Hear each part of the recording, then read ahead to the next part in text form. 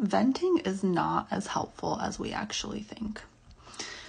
So, a lot of us think, okay, something bad happened, I'm angry, I'm upset, I'm sad, I'm gonna go vent to a friend or a loved one.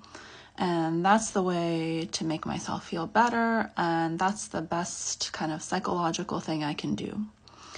And it's really great that we have people that we can talk to and we can help each other and we can be there for each other. That part of venting is good to have that level of connection and to feel connected to another person. But venting is what we called emotion focused coping. So you're not actually solving the problem that you have this strong emotion as a result of. What you're solving is the emotion.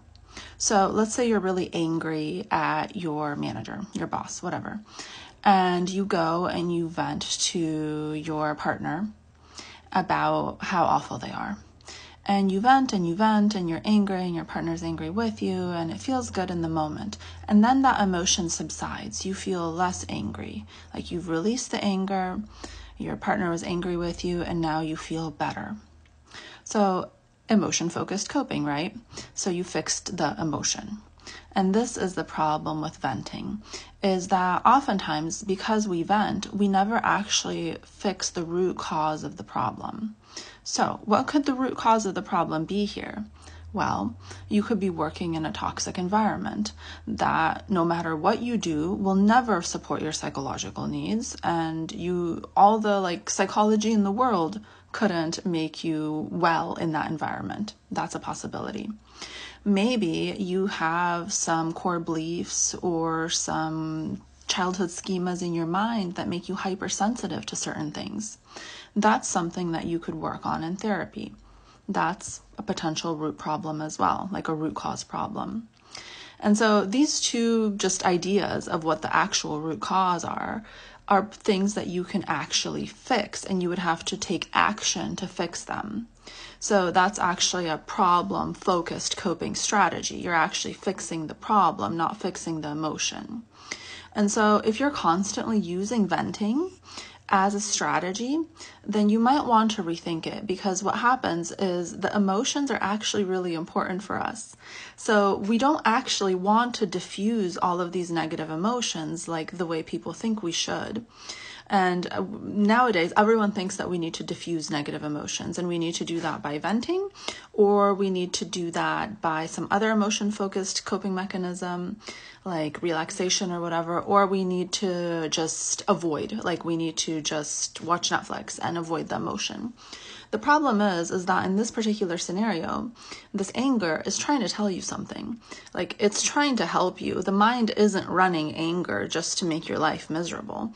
The mind is detecting something and telling you, hey, you're you're being taken advantage of or you perceive being taken advantage of. So it could be one of the two, like, and a trained psychologist or therapist will be able to differentiate this for you because the problem is that oftentimes we don't know if we're the problem or the environment is the problem.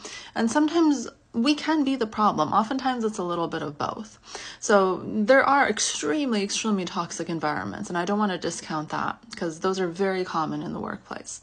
But at the same time, most of us show up at work with all kinds of baggage, all kinds of wounds, all kinds of ways that we're perceiving interactions in ways that are not helping us. We're hurting ourselves as well because of the history that we've had in our lives, because of the instances we've had in our lives that have damaged our mind in such a way that now we perceive more danger than actually exists, or more kind of malintent than actually exists.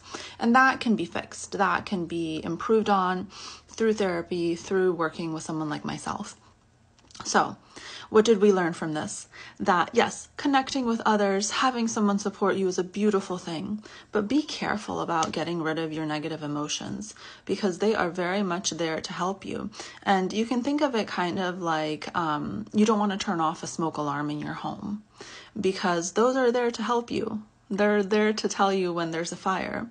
And so the anger is telling you, hey, there's a fire. Something's not right here.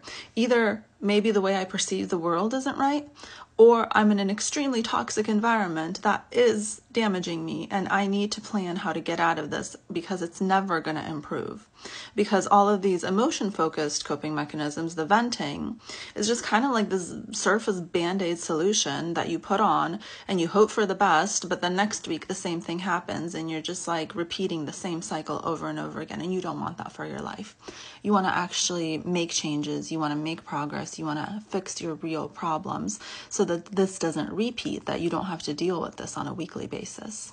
So I hope that helps. And um, I would like to just note that I don't mean that you shouldn't go to people and ask for support and ask for help, but you should just be aware that when you're venting, you're using an emotion focused coping mechanism and you're diminishing an emotion that might be trying to help you.